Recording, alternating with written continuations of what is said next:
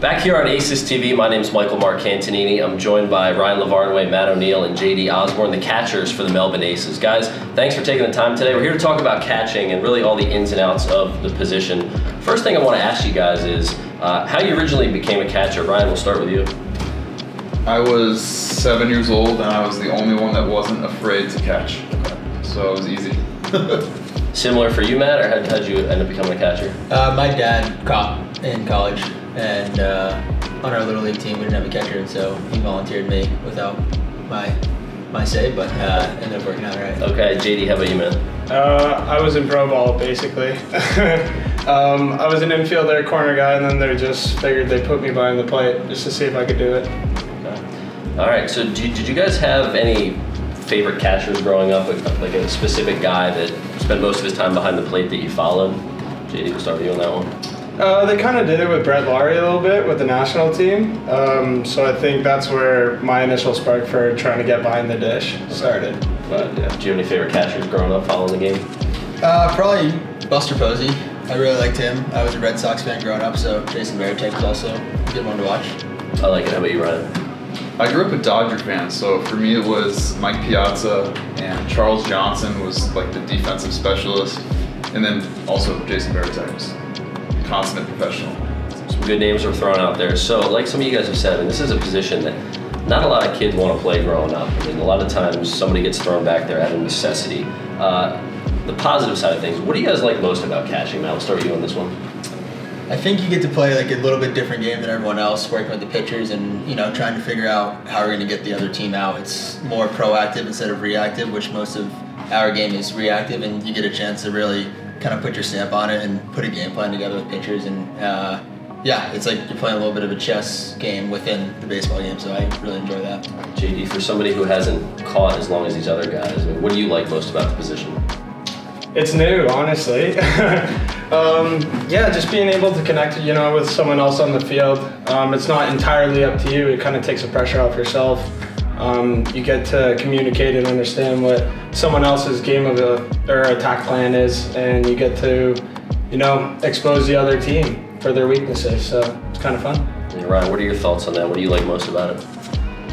Uh, I like being involved in every pitch, and the fact that you can go to the field and not get any hits, not provide any offense, and still help the team win the game. Uh, my favorite part of catching is when me and the pitcher are on the exact same page and we're just cruising through a lineup, and it, it feels like the other team doesn't even have a chance because we're executing pitches, we're executing our game plan, and we're, we're outthinking them, outmaneuvering them before they, they can even respond.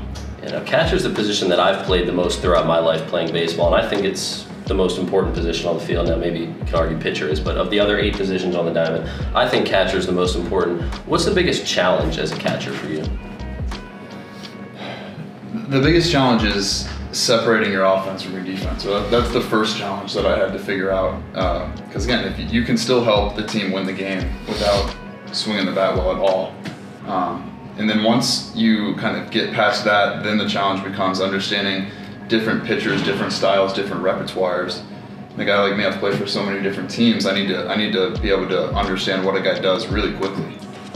Have a similar answer for you guys, or uh, you got a different idea? The most challenging part of the position. I mean, I think Ryan hit the nail on the head. Is separating the offense and the defense. I mean, I still struggle with that at times. Um, you know, you want to go hit, but at the same point, you got a really important job to do behind the plate, and you know, there's more than just you depending uh, on your performance back there. So I think that's the biggest one for me that I'm still always working on.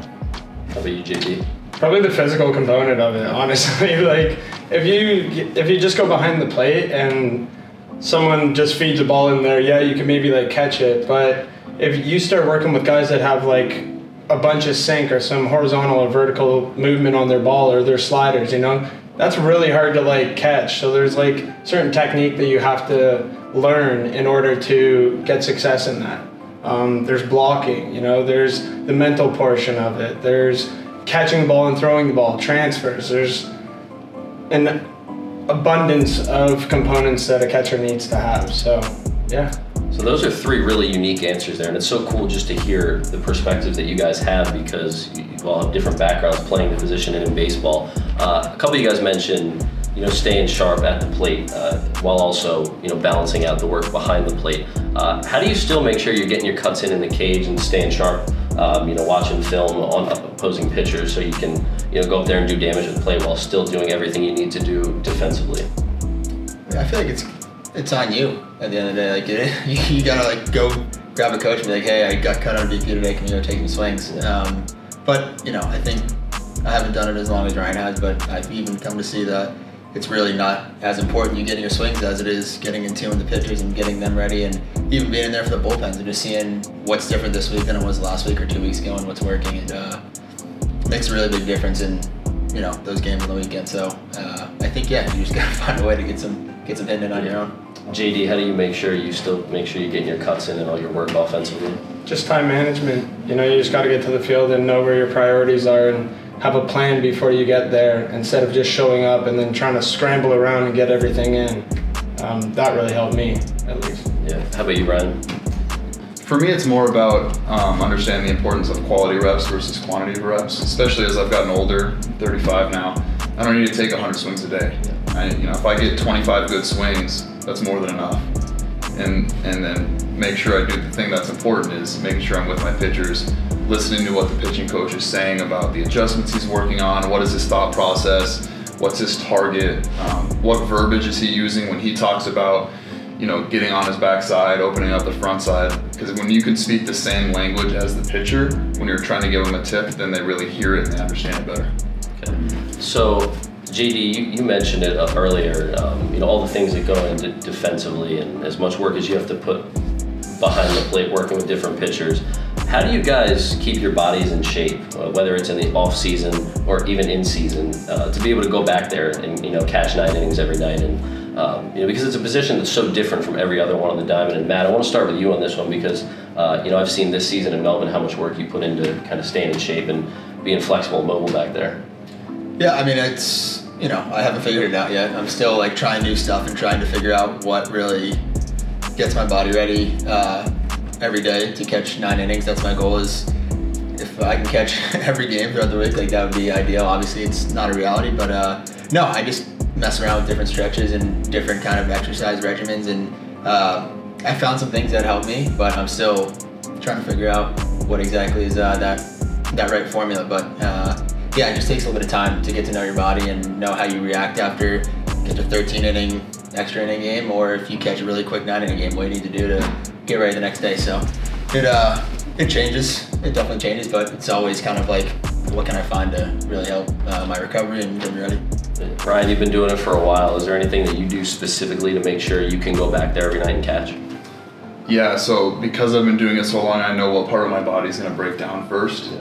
Um, so I have an oblique program, I have a forearm extensor program, um, a shoulder program. Basically, anything that has gotten hurt in the past, I, I do the rehab as a prehab okay. to make sure that I don't re-injure the same thing. And over the years, as a, as a new part of your body starts to pop up, you add that to the program and find a way to, to do it efficiently so that you're not spending two hours in the gym every day. You just do what you need to do to get ready. And again, at this point, I'm plenty strong. I'm not I'm not trying to get stronger. I'm trying to maintain, stay healthy because my best ability is my availability on the field.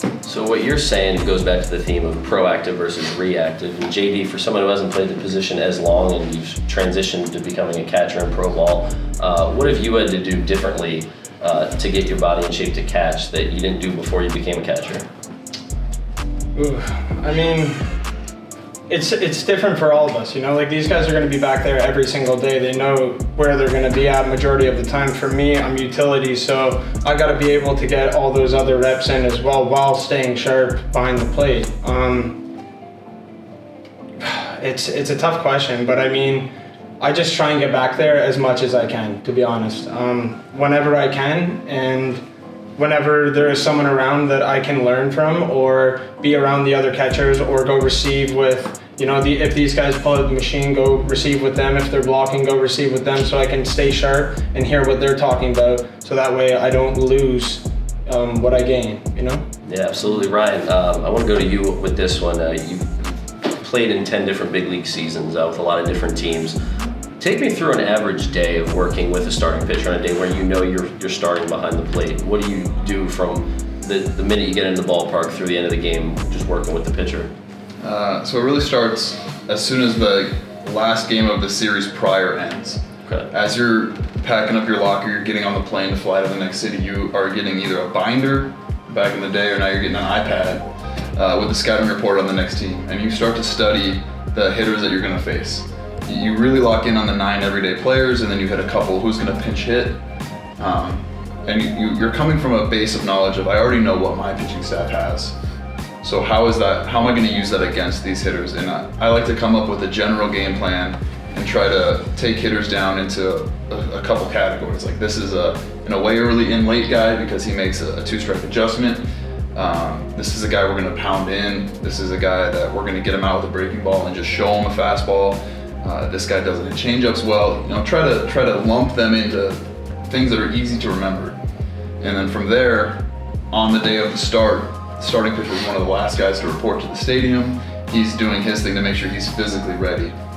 You're gonna have a, a scouting meeting with the starting pitcher, the pitching coach, and the starting catcher every day before every game. You're gonna take what you've learned about these hitters, and then depending on what day of the series it is, what have they done in the last couple days, or you've watched a video if it's the first game of the series on what they've done in the last five games. So this is what they're doing. Uh, this is what they've done lately. This is how they're being pitched, and this is how we are going to use your specific stuff to attack them. There's so much that goes into it. It's fascinating to hear how early the prep, you know, for that guy's next start, um, how early it starts. So, uh, Matt and JD, for you guys, has the prep been similar to what Ryan's been talking about since you've been in pro ball? Yeah, I think I probably missed out on the binder days where we got the binders, but We've got uh, the iPad now. It's a yeah, lot but, easier. yeah, but for the most part, no, it's getting the information, um, knowing it yourself, and then kind of applying it to, like Ryan said, what are these guys doing now? How are we going to use it, and, and who's pitching, and how does that match up work with the information that I know? How about you, JD? Yeah, the same approach. I mean, it's really just that communication as well with that pitcher and, you know, laying it all out on the table. There could be so much information out there, but if that guy doesn't have his stuff that day, you gotta, you know, adjust and attack hitters accordingly on that, you know, on the fly there. So there's a bunch that goes into it. I love it. So let's wrap this interview up. Uh, question for all three of you. Um, you know, Ryan, you know, you just got here uh, a short amount of time ago. Matt and JD, you guys have been here all season. Uh, what have you learned from each other um, since joining the Aces? JD, we can start with you on this one. that Matt eats burgers all day long and cheese. uh, no, um, these guys are you know very unique in their own styles, and something that I like to take in catching is little bits from each guy. Um, my setup was a little bit different to Maddie's, and I started actually using his out, outward angle of his ankle when he got behind the dish, which actually opened up my hips a little bit more, and I started getting underneath some pitches while I was back here. But yeah, What, what have you learned from these guys, man? I think Ozzy is in a unique spot that I've never really been in where he might catch one game a week, he might catch two, but he's got to be taking ground balls, taking fly balls, and then find time to like go. He was catching uh, Mira and uh, Q a lot early in the year, and he like developed a relationship with them really quickly and got on the same page with them, and it was pretty seamless. And so um, I might at some point like take that for granted where I have all this time and he doesn't have as much time. He's got to do it really quickly, and he did a really good job of that. So it was good to see that. And uh, and from Ryan, I don't know. I feel like he's got a lot of good stuff in that head of his. He's got a lot of experience, but uh, I'm still trying to get some more out of him. We'll uh, see how the next couple weeks go. I love it. Now, Ryan, you're, you're the new guy here. Um, have you been able to pick up anything from these guys, or at least you know throw some pointers their way? Um, so I look, I feel like the grandpa on the team at this point, right? Um, and I look at these these young pups, uh, uh, and I can I can be a realistic self-evaluator, and I can see that physically, Maddie's a better receiver than me already. I, and I haven't seen JD catching a game yet. Um, but I, just to go on Maddie, Maddie's probably uh, got quicker feet and a quicker release to me and a stronger arm to second base. But the value that I have to the team still is I'm going to play my game, I'm going to help the pitcher play his best game, and I'm going to manage the game as a whole. And that's a whole nother level that experience has taught me. Is like understanding like this right now is the most important pivotal point in the game. And before we throw this pitch, I'm to go make sure me and the pitcher are on the same page. because we're not to give up this run, and we're especially not to give up this run unless both of our brains agree that we have the right pitch. So, so there's more to just the physicality of catching. Um, and with my experience and the things that I've learned over the years, that's what I'm hoping to teach these guys or talk with these guys about before I leave. I love it. Well, guys, this was a really fun conversation for me. Uh, get, just getting to talk about catching and all the ins and outs of it. We could go on forever, uh, but really appreciate the time. JD Osborne, Matt O'Neill, Ryan Lavarnway. I'm Michael Marcantonini. Thanks for taking the time to tune in on Aces TV.